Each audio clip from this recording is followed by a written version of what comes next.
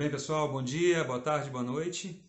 Aqui é o canal Teoliteras, meu nome é Rômulo e hoje nós vamos falar um pouquinho dos estudos do Enem, tá? Então, como a gente vai estudar para o Enem aí, visualizar um plano de estudos, eu vou tentar dar uma auxiliada, principalmente analisando tanto você, professor, ou você, candidato, tá? Vou dar umas dicas aí e o viés nossa, das nossas dicas está ligado o quê? As competências tá? Eu sou professor da área de língua portuguesa, então vou trabalhar com a prova de língua portuguesa que foi aplicada ano passado, em 2019. Beleza? Vamos falar sobre isso aí.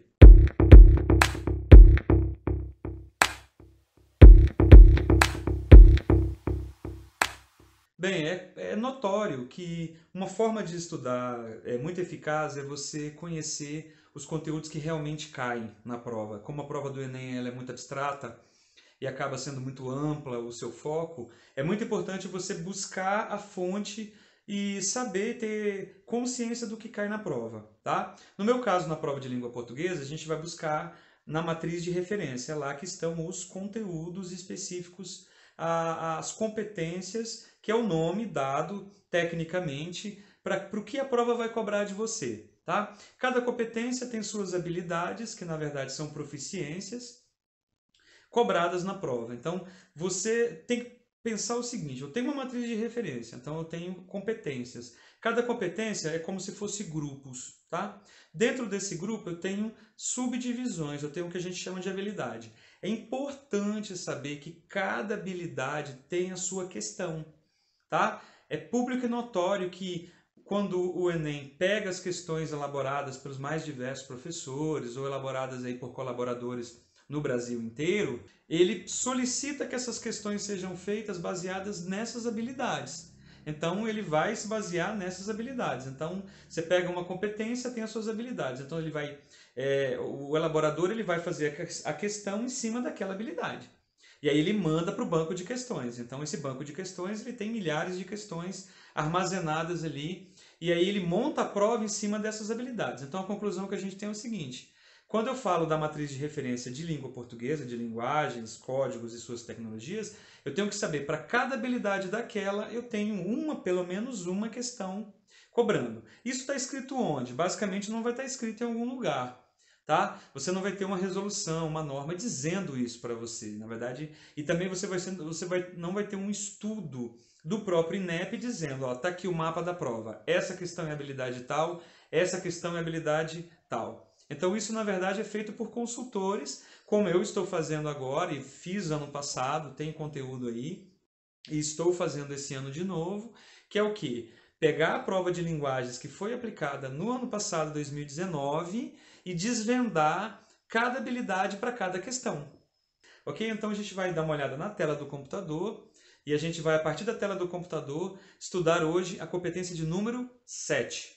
Ok? Então hoje a gente vai tratar da competência de número 7. Os próximos vídeos talvez eu não faça essa introdução tão longa, tá? Explicando isso que eu falei para vocês, eu já vou direto na competência. Então a aula de hoje é sobre a competência de número 7, a mais cobrada do Enem de linguagens, ok? É a competência de número 7 com as suas quatro habilidades. Vamos lá para a tela do computador para a gente dar uma olhadinha nessas, nessas habilidades aí a matriz de referência de linguagens, códigos e suas tecnologias, eu vou me dedicar aqui então à competência da área, competência aqui da área 7, não é isso? Isso. Então a gente vai aqui para a competência da, da área 7, que é justamente essa competência aqui, né? Confrontar opiniões e pontos de vista sobre as diferentes linguagens e suas manifestações específicas. Então, a gente, na leitura dessa competência, a gente vai já ter uma, uma dificuldade, porque nós estamos misturando aqui opiniões e pontos de vista. Né? Então, fazendo uma leitura dessa competência, a gente tem essa a diferença entre opinião e ponto de vista. Ele coloca um E aqui, o que vai dar essa impressão, e as diferentes linguagens e suas manifestações específicas. Então, a gente tem aqui e essa parte aqui, se a gente for parar para pensar, essa parte aqui, quando a gente diz confrontar opiniões né, e pontos de vista, nós estamos falando da parte de conteúdo, e quando a gente fala aqui de linguagens e suas manifestações específicas, nós estamos falando de expressão. Então a gente tem uma confusão aqui entre conteúdo e expressão. Então a gente vai ter que trabalhar as duas coisas. É claro que significante e significado sempre andam juntos, né? Mas a gente vai ter uma questão aqui a é, entender. Então, como aqui é simplificar essa competência, eu diria que a competência da área 7 está ligada ao conteúdo e algumas estratégias de expressão. Então, é, se tem uma competência que lida com interpretação mesmo, de opinião, de objetivo do texto, é essa competência 7. Por isso que ela é predominante na prova do Enem, ok? É uma competência predominante, tá? Então, ela vai expor esses dois pontos aqui no início, e aí a gente vem para as quatro habilidades, que começando aqui com a habilidade H21. Então, o que, que eu vou trabalhar? Eu vou tentar diferenciar essas quatro habilidades aqui, quais são as marcas de diferença delas, para que a gente possa trabalhar tanto o professor quanto o estudante do Enem ele possa ter essa, essa percepção. Então, na H21, nós temos aqui reconhecer em textos de diferentes gêneros. Então, aqui é que vai aparecer a questão do gênero, ok? Então, o gênero ele vai aparecer aqui. Tomar muito cuidado, que a gente tem que trabalhar bastante gênero, sair dos gêneros do senso comum do fundamental e ir para os gêneros do primeiro ano. Tá? Os gêneros hoje de, de, ciências da comunicação, da comunicação é, tecnológica. Então, a gente tem gêneros, por exemplo, como gênero ligado ao Twitter, frases feitas. Então, a gente tem que rever esses gêneros. Gênero ameaça, gênero sedução, tem que dar uma olhadinha nisso aí, tá? Mas o que principalmente na habilidade 21 a gente vai ver mesmo na prática é que essa habilidade ela vai buscar os recursos verbais e não verbais, né? Então, nessa quando a gente pensa nessa nessa habilidade aqui, na 21, a gente está trabalhando com textos verbais e não verbais. São o quê? Aqueles textos que têm imagem e que têm é, ele, ele é composto por um discurso visual e por um discurso não visual, tá? E ele aqui, é, essa é a parte da expressão, então gêneros recursos verbais e não verbais, e aí aqui as consequências disso, utilizados com a finalidade de criar e mudar comportamentos e hábitos. Então, essa habilidade 21, vocês têm que prestar atenção que é a que lança gênero, então a gente tem que resgatar quais são os gêneros, e que vai trazer para a gente recursos verbais e não verbais. Ok? Vamos ver então uma questão. Vamos ver uma questão que trata dessa, dessa habilidade aqui. Bem, pessoal, então, voltando lá para a habilidade 21 da competência 7, a gente vai ter aqui a questão 12. Tá? Então, essa questão 12, você pode perceber que a gente tem aqui um cartoon, tá? Então, a gente tem aqui é, um cartoon com base até de, de, de, de um layout japonês. E aí, ele vai trabalhar justamente a questão do silêncio, não tem é, balão aqui de fala e tudo mais. E o texto 2, ele vai trabalhar com quadrinista surda faz sucesso, então é uma, é uma notícia tá, textual é, que compõe o discurso aqui junto com o cartoon. E aí ela vai pegar essas esses dois é, é, modelos aqui de linguagem verbal e não verbal e vai tentar trabalhar aqui ó, o comando que é esse aqui, ó. O texto 1 exemplifica a obra de uma artista surda que promove uma experiência de leitura inovadora divulgada no texto 2. Independente de seus objetivos, ambos os textos. Olha que interessante aqui. Então, quando trabalha aqui, independente dos seus objetivos, a gente começa a perceber que não é simplesmente uma questão é, do, do sentido estrito do texto, tá? É, ela vai além do, do, do, sentido semântico estrito do texto, a interpretação estrita.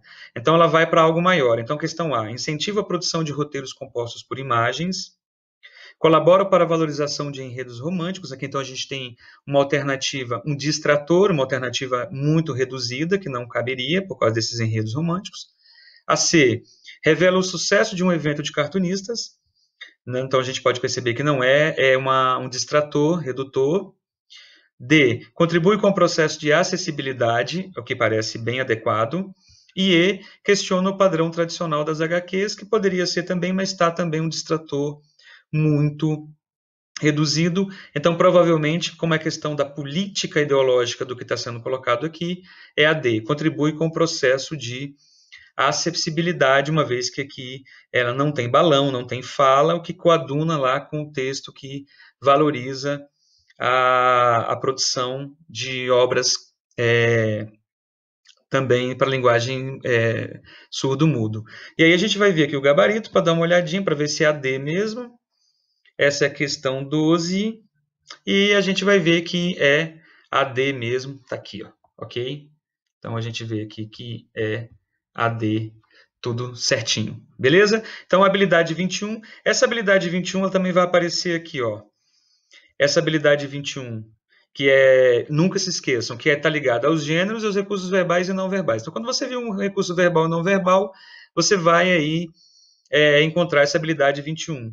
Então, na prova do Enem 2020, 2019, que é que nós estamos trabalhando, se a gente for lá na questão 21, nós também na questão, desculpa, 23, se a gente for na questão 23, a gente vai perceber aqui também que a gente tem a linguagem não verbal e a linguagem é, verbal aqui do lado, ok? Então, também é uma questão que aborda é, essa habilidade 21, contraponto de imagem e texto, ok? Bem, então aqui como você pode ver que é justamente essa, é uma habilidade que dá o contraponto né, de imagem e texto. É isso? Ó. Imagem e texto. Ok? Agora vamos dar uma olhadinha na habilidade 22. Tá? Olha. Então vamos lá para a habilidade 22. Na habilidade 22, a gente vai ter aqui, ó, relacionar em diferentes textos, opiniões, temas e assuntos os recursos linguísticos. Ok? Essa habilidade 22, ela aqui está relacionada a entender o sentido do texto, o que, que o texto quer transmitir, o conteúdo que o texto está trazendo. Porque ele vai trazer aqui, relacionar em diferentes textos, opiniões, né, é, temas, assuntos e recursos linguísticos. Aqui a gente tem que ficar esperto, porque ela trabalha aqui, ó, em diferentes textos. Bem, pessoal, então aqui na habilidade 22, tem que ficar sempre atento a essa questão dos diferentes textos, tá? E eu percebi, analisando a prova do Enem 2019, que há questões onde nós temos dois textos para ser comparados. Então, quando a gente perceber a, a, a existência de dois textos, a gente está ligado muito a essa habilidade 22. Bem, pessoal, a questão 26 explicita a habilidade 22 de modo bem claro. Por quê? Porque se a gente for olhar lá na habilidade, retomando, a gente vê que a habilidade 22 diz relacionar em diferentes textos. Tá? Isso aqui não está aqui por acaso, ninguém gasta energia para colocar isso aqui. Então, isso aqui é um norte pro, tanto para o tipo de proficiência exigida, quanto para o elaborador da questão, elaborador do item, pensar nisso. Então, aqui a gente tem uma questão onde tem o texto 1 e o texto 2. Alguém deve falar assim: "Ah, mas a imagem, a imagem aqui, ela poderia entrar na habilidade 21, que fala lá de, de verbal e não verbal". Sim, ele poderia. Está aqui meio que imagem, mas está ligado também ao infográfico. Mas na verdade, é, o suporte daqui é mais textual. Você tem que ler para poder chegar dentro mesmo, né? Você precisa fazer a leitura para chegar. E aqui em cima, então você tem o texto 1 e você tem o texto 2. Aí o comando é, na comparação entre os textos, conclui que as regras do Estatuto do Idoso, e aí vem aqui a questão A, B, C, D e E, onde você vai tentar é, responder essa questão, principalmente percebendo o contraponto entre os dois textos. Então, aqui na, na, na, comparação entre os textos é que você vai conseguir resolver. Bem, aqui não é, é só para a gente resolver, é só para a gente ver onde está a competência correta. Mas também aqui quando entra em recursos linguísticos. E a gente tem que tomar muito cuidado, e eu venho falando isso há algum tempo, da gente reforçar o que seriam esses recursos linguísticos para os alunos. Esse recurso linguístico está ligado ao pronome, ele está ligado às conjunções. É um nome utilizado pelo Enem na matriz de referência, mas que abre aí um leque muito grande, plurais, antônimos, uma série de recursos linguísticos.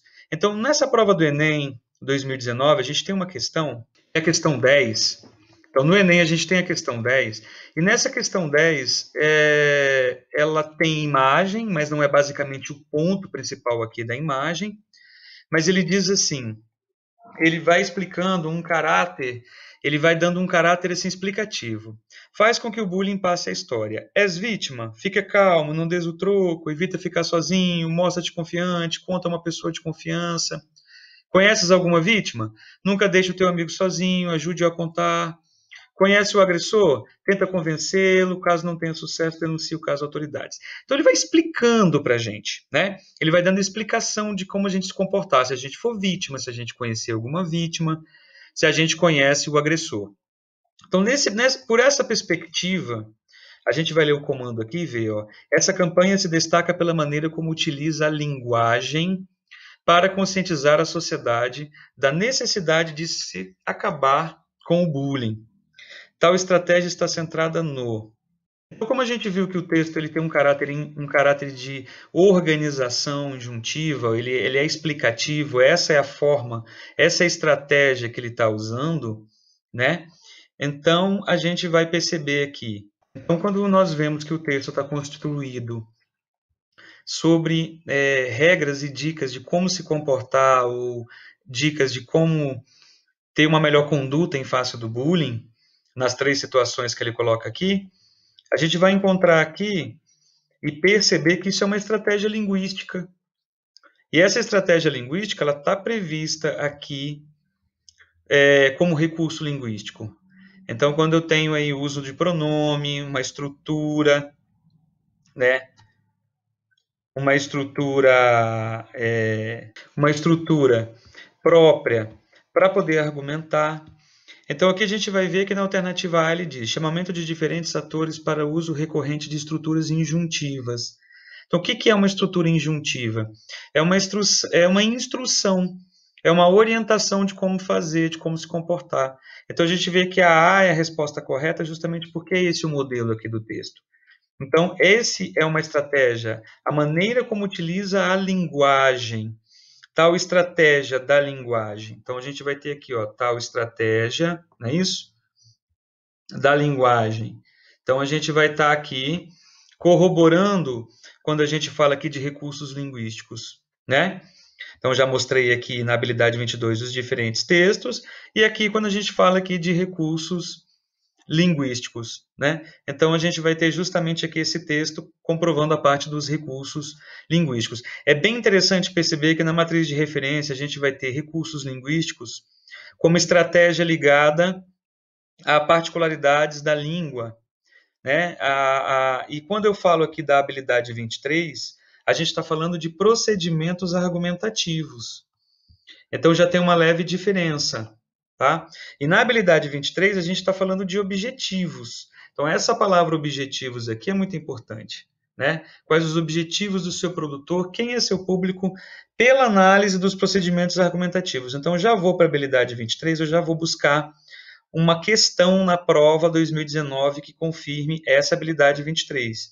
E aí a gente vai encontrar aqui a questão de número 7 a questão de número 7, a questão número 8, tá? Na verdade, é a questão de número 8, eu acho que ela vai se enquadra perfeitamente aqui. Então, na questão de número 8, a gente tem um texto do Conan Doyle, né, um estudo em vermelho, onde fala do Sherlock Holmes e tudo mais. E aí ele vem dizer aqui, ó, considerando o objetivo da carta de Tobias Gregson e a sequência de enunciados negativos nesse texto, né, ela tem a função de. Então a gente percebe, basicamente, que parece que ela foi feita literalmente para agradar a habilidade aqui 23, né? Então, por que, que ela foi praticamente feita para isso? Ela foi feita para isso porque ela vai justamente é, falar do objetivo do texto e falar da sequência de enunciados, de qual procedimento que foi utilizado para chegar até a alternativa correta aqui, A, B, C, D e E. Então, a gente tem um texto, ele vai levar em conta o objetivo e uma sequência de enunciados, que na verdade é o quê? É o que a gente vai chamar aqui de procedimentos argumentativos, né? que está ligado à habilidade 23. Bem, pessoal, uma outra questão que está diretamente ligada à habilidade 23, que é a habilidade de procedimentos argumentativos, é, de procedimentos de trabalhar com a linguagem para obter certos objetivos, é a questão 7. A gente viu a questão 8 e aqui a questão 7, onde a gente tem um poema, e nesse poema ele vai dizer um amor desse era 24 horas lado a lado, um radar na pele, aquele sentimento alucinado, coração batia acelerado. Então ele vai levantar uma ideia, ele diz: Ah, esse amor deixou marcas no meu corpo, ah, esse amor, só de pensar eu grito, eu quase morro. Meio com ironia, ou talvez também falando por meio de, de enunciados é, cravados, ele vai levar a gente a pensar o seguinte: vamos ver o comando. Essa letra de canção foi composta especialmente para uma campanha de combate à violência contra as mulheres, buscando conscientizá-las acerca do limite entre relacionamento amoroso e relacionamento abusivo. Para tanto, a estratégia empregada na letra é a. Então, essa estratégia aqui está intimamente ligada aqui quando a gente pensa na habilidade 23 de procedimentos argumentativos, onde a gente vai tentar descobrir é o, quais são os objetivos desse produtor, né, para chegar até o efeito. É claro que o objetivo dessa questão é basicamente levantar aí a bandeira da violência contra a mulher. Mas aí você vai ter que desvendar qual estratégia empregada. Então, a estratégia empregada é a revelação da submissão da mulher à situação de violência, que muitas vezes leva à morte, ênfase na necessidade de se ouvir os apelos da mulher agredida que continuamente pede socorro. Esse aqui é um distrator, né, nitidamente está fora do, do, do conjunto próximo de resposta. Exploração da situação de duplo sentido que mostra que atos de dominação e violência não configuram amor. Interessante porque há esse duplo sentido no texto, interessante isso aqui. Divulgação da importância de denunciar a violência doméstica que atinge um grande número de mulheres. É importante a denúncia, mas não é a tônica, é um distrator esta naturalização de situações opressivas que fazem parte da vida das mulheres que vivem em uma sociedade patriarcal. Interessante. Então, nós temos a E e a C e a A. Então, qual dessas aqui na questão de número 7? Questão de número 7 é a C. Então, exploração da situação de duplo sentido que mostra que atos de violência, de dominação e violência não configuram amor. Então, é justamente isso que a gente disse da questão de oferecer aí um duplo sentido, de coisas que ela acha que é amor e que aparentemente não é, e que na verdade isso é a estratégia empregada na letra. Então, que é nitidamente aqui a habilidade 23. Então, na habilidade 23, nós mostramos duas questões, ok? a gente mostrou duas questões bem nítidas aqui, tanto a questão 7 quanto a questão 8. É bom deixar assinalado aqui que eles organizam a prova muitas vezes com é, habilidade próxima. Se a gente perceber a 6 e a 7 e a 8, nós conseguimos agrupá-las é, dentro da competência 7 se a gente parar para pensar. Então é interessante a forma como de repente a prova é montada, recebendo as questões que vêm aí de fora. Né? É bem interessante isso aí. A habilidade 24, ele está muito centrado nas estratégias argumentativas, tá? E essas estratégias argumentativas, elas são empregadas para convencimento, intimidação, sedução, comoção, chantagem. Isso que é muito importante trabalhar isso aqui é muito importante trabalhar em sala de aula. Então, isso aqui é um conteúdo relevante para a gente trabalhar em aula, as estratégias argumentativas. Então, buscar quais são os mecanismos de argumentação, buscar novos mecanismos de argumentação. Então, é bem importante. Aqui ele coloca aqui, ó, a intimidação, a sedução, comoção, chantagem, mas deixa aberto para outros, tá? Bem, pessoal, então agora procurando uma questão exemplificativa dessa habilidade 24, então a gente vai encontrar aqui Vamos pesquisar aqui. Eu acho que a questão, se eu não me falha a memória, 33. Deixa eu ver. Não, 32. Então, na questão 32, é muito nítido a presença dessa competência. Então, ela tem um texto, emagrecer sem exercício. Hormônio aumenta a esperança de perder gordura sem sair do sofá. Solução viria em cápsulas. Então, ele vai aqui né, é, redigir um texto longo, que torna essa, essa questão um pouco cansativa. Ele tem muitos parágrafos, tá? E aí, aqui no comando, ele diz: para convencer o leitor Isso é muito bacana. O autor usa da estratégia. Então, nesse ponto aqui, a gente percebe, e aí ele vai dizer, a falta de exercício não emagrece, trata de uma forma de transformar. O aluno ele vai ter que captar, o, o quem está fazendo a prova, ele tem que captar, basicamente, qual é a estratégia básica utilizada pelo texto. E a gente está falando de convencimento. Então, a gente está fazendo uma referência aqui à habilidade 24, que são estratégias argumentativas de convencimento. Então, é visível que a habilidade 24 esteja aqui nessa questão 32. Ok? Então, fechando aqui momentaneamente essa parte, a gente tem que entender que essas, a competência de número 7 é a competência mais difícil. Ela traz para a gente, na habilidade 21, a questão do gênero. Ela traz para a gente a questão dos recursos verbais e não verbais que tem que ser trabalhado em sala. O aluno ele sabe, mas ele precisa é, é, descrever melhor o que ele sabe. A habilidade 22 trabalha com diferentes textos, então é comum que a gente é, veja no Enem, é, na prova 2019, a gente tinha, teve várias questões com dois textos, e principalmente com recursos linguísticos. Né? A habilidade 23, a ideia dos objetivos e dos procedimentos argumentativos, a gente conseguiu ver, ver duas questões. E a habilidade 24, que para mim é uma habilidade que tem que ser trabalhada mais na escola, que são as estratégias argumentativas. Ok?